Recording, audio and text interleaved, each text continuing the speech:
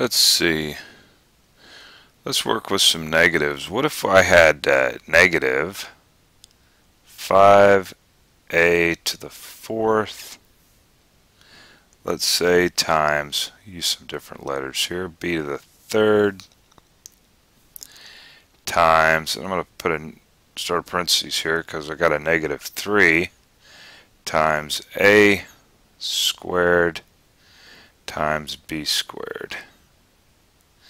Okay, and we want to simplify this down.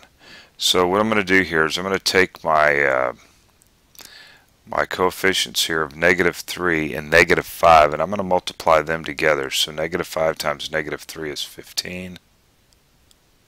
And then of course you have a to the fourth. I think I'll just group these first before we go any further. Then we have b to the third times b squared. So now we have 15. Now remember both of our bases are alike, so we add our exponents, 4, 5, 6 times b, 3, 4, 5. And that has now been simplified down. Okay, so let's multiply this one out. So as you can see, we've got two of these terms okay, because this is squared. In other words, we have 3x y cubed times 3x y cubed. So instead of writing it this way, we can condense this down and rewrite it like this. Alright, but I don't know, I guess we'll just work this out right here. But if I were to uh, group this stuff, let's see, 3 times 3 is 9 and x and x. So how about I just write this? Since you're learning this maybe for the first time we'll go nice and slow. How's that? So we have a 1 and a 1 so we add right? So we have x raised to the 2 and then y and then we add our exponents to the 6 Easy enough. If we were to look at this, we could say 3 squared, right? y is to the first power. So this would become 1 times 2 is 2. And of course 3 times 2 is 6. And we get the same thing. So it's more uh, uh, preferred to do it this way. It's a whole lot uh, faster. Okay, I'm going to de demonstrate the uh,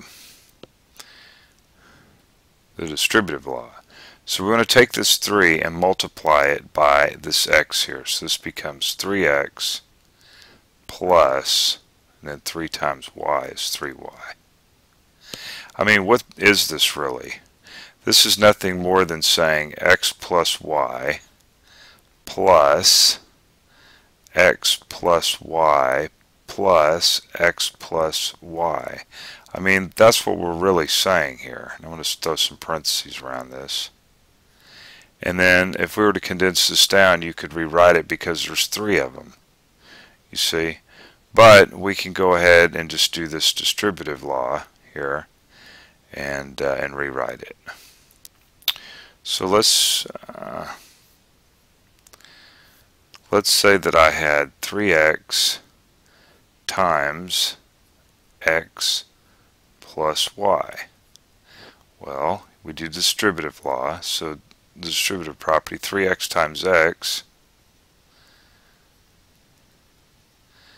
plus 3x times y and we get 3x squared when we add our exponents plus and of course there's not much we can do with that.